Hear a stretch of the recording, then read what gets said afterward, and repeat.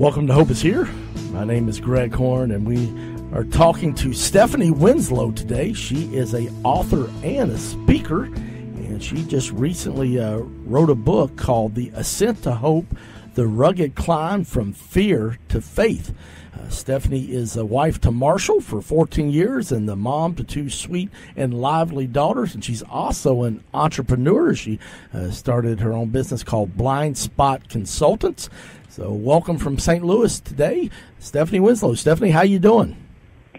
I'm doing well. Thank you very much. Thanks for having me on.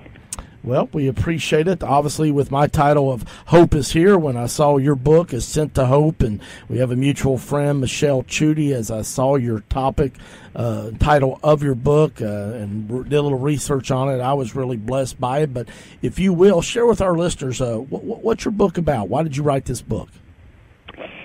Uh, my book um, is written um, for families, Christian families who are struggling uh, with a loved one who is bound by addiction. And um, what I found in my life uh, with the loved one that in our family who had been really struggling is that um, I thought I needed to take on the role of God and play God in his life and um, be his savior. And so God worked a great deal in my heart um, and helped me to a place where I, you know, got to the end of myself and uh, realized that I I couldn't control anything that I was trying to control, and um, helped me release the death grip that I had on a lot of the situations that were going on, um, and ultimately exposed my need for more of God.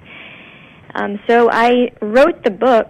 Um, really, I felt called uh, to share the story because I know um, there's just a growing epidemic, right, of people who are struggling with addiction, and whether it's a substance abuse or whether it's food or shopping or gambling, you know, the the addiction itself, it doesn't really matter, um, but how we respond to it. Um, can mean all the difference for us and our as a loved one who's dealing with someone um, can make all the difference uh, because we can get sucked into the same sort of behaviors um, that the addict has and um, and and really just feel hope, hopeless and that's really where I was. I was in a, a pretty dark place and um, didn't feel like there was any uh, any hope for me, for my family members.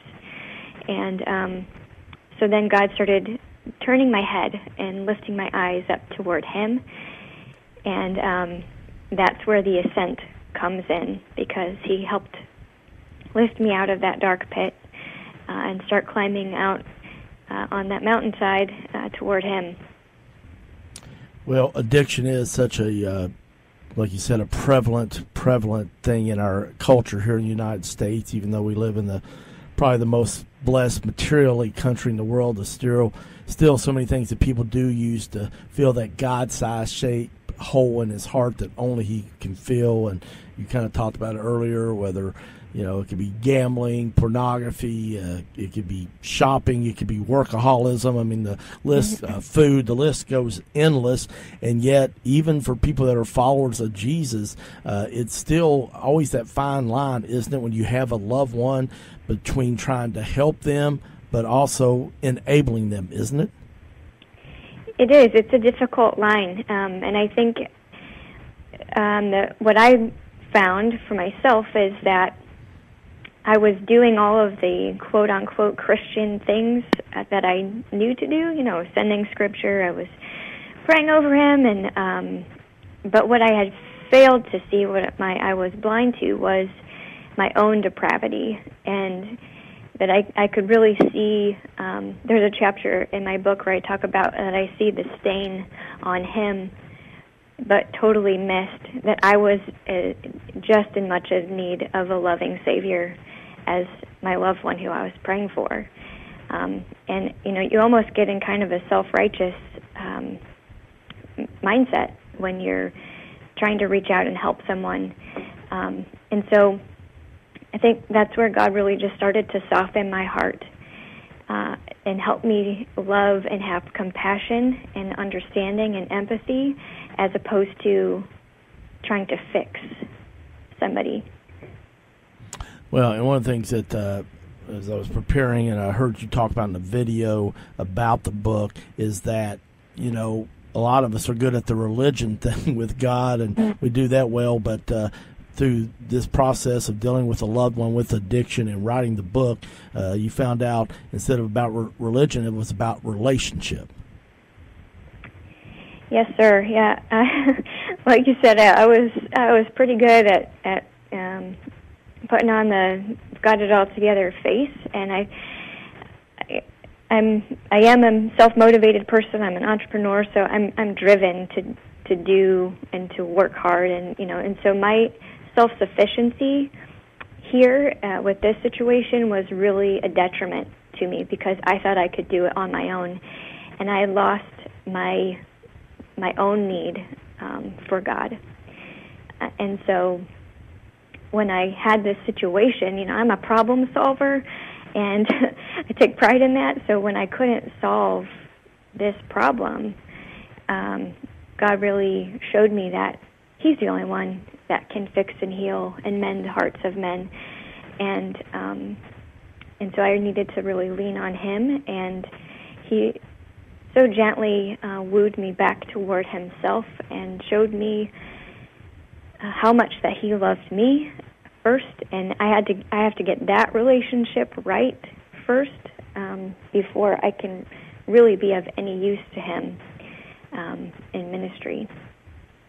Well, it's interesting you say that. A guy that's mentored me uh, for the past 15 years and uh, is just one of the most uh, disciplined and most uh, has the most depth of somebody spending time with Jesus that I know personally.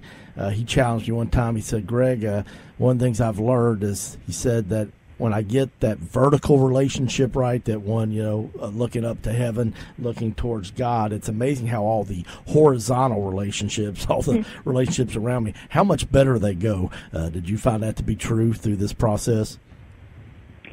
Absolutely. I I think um, prayer, the most important part of prayer is that it you know we, we I think we pray to God and ask for him to change things, change circumstances. But in his response, his grace to, back to us is that he he changes us. He changes our heart toward the situation and toward our relationships with people. And so that we can love better, we can love deeper, we can love differently than we are able to do on our own and in our own strength. Um, because my own my own love is very short-sighted and I that's the difficult part too, you know, about having an addiction is that the resolution for me was so the sobriety that I was really praying and hoping for was about me that I just wanted this thing this hurdle to be done and over with so that my family didn't have to deal with it anymore and when it got down to it, it wasn't really about me loving that person. It was about me being uncomfortable. Um, and so, like you said, that vertical relationship, when I finally got myself aligned to God and I focused first on Him, He took those tinted, uh, foggy glasses that I had on and started making them more clear. And I could see more clearly um, what my role was and is uh, with the people around me. Just tuned in, we're talking with Stephanie Winslow. She is the author of a book called The Ascent to Hope The Rugged Climb from Fear to Faith. And I'm in the process of trying to write a book myself. And um, so I have great admiration that you have got that done. So I'm going to ask for myself, And I also know a lot of people that kind of have a dream maybe on their list of things to do before they go to heaven is to write a book. How uh, how did the writing process go for you, Stephanie? Um, it it was very uh, emotionally difficult, and you know I think it depends obviously what topic that you're writing on, and but there's everybody has a story, and um, I'm a firm believer that God put us on this earth to um, and help, we go through things so that we can then use that trial what we learned there to be a blessing to someone else and teach them. Um, and so I, the writing process for me was a really a healing process um, that I just had to wrestle with a lot of the emotions that I was still holding on to, um, and even regrets and um, guilt that I was carrying about relationships that I had um, caused harm to, or situations or words that I said that I, I needed to actually go and get forgiveness about. Um, it was a really, actually, a very difficult process for for me emotionally, um, but also very good in that it it walked me through the healing process. That I, I don't think if I would have written the book that I would have walked through that same healing process. Um, so it was just it was a very, like I said, hard but also amazing uh, experience for me. And it took about a year to write, and um, then publishing after that. Um, but I, ha- I was always trying to surround myself by people who were also in the same writing process, so that I wasn't alone. So I think community is huge there too.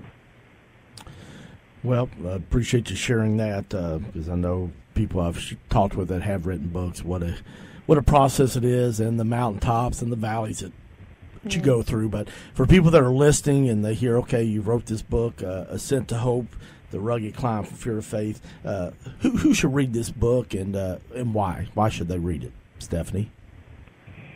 well, first off, if you know if you ha- do have a loved one who's struggling with addiction, um, I think this book is absolutely for you. Um, but what I've been surprised about is the number of people who have uh, given me feedback about that their parenting has been challenged, that their marriage relationship has been challenged, that their prayer life has been challenged, um, and really establishing that vertical relationship and seeing how judgmental they are of other people. Um, so I think a lot of it has to do with control. So if you're if are a person that you feel like you struggle with letting go of things um, and uh, letting God take uh, the lead, then this book was probably for you too. Um, but yeah, I, I think there's a lot of audience, different audiences that, that could benefit from it for sure. All right. we hope you'll stay with us over the next couple of days. We're going to talk some more with Stephanie. Uh, we're going to be talking about topics such as life's unresolved problems can help us let go, uh, control, and walk into a deeper relationship of surrender and relationship with God. And then we're also going to talk uh, on our third program about when God asks us to give up control, He will replace that with exactly what we need fear to faith, hopelessness to hope. So I hope that you'll stay with us. Uh, we're going to continue our conversation with Stephanie Winslow. If you're like, man, I, I, need a copy of this book. This book is for me or for a friend or loved one. I want to encourage you to go to her website. It's www.ascenttohope.com. That's ascent to hope.com. The book is called Ascent to Hope The Rugged Climb from Fear to Faith.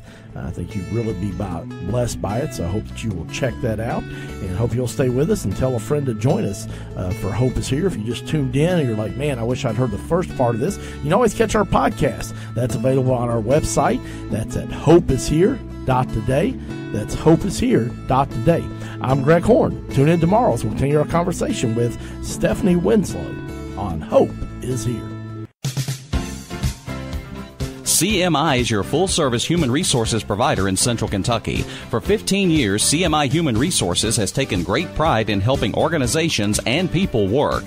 Whether it's employee handbooks or help in filling a position, no job is too large or too small for CMI. Contact the professionals today at CMI Human Resources, 859 296 2800 or online at cmiconsulting.com.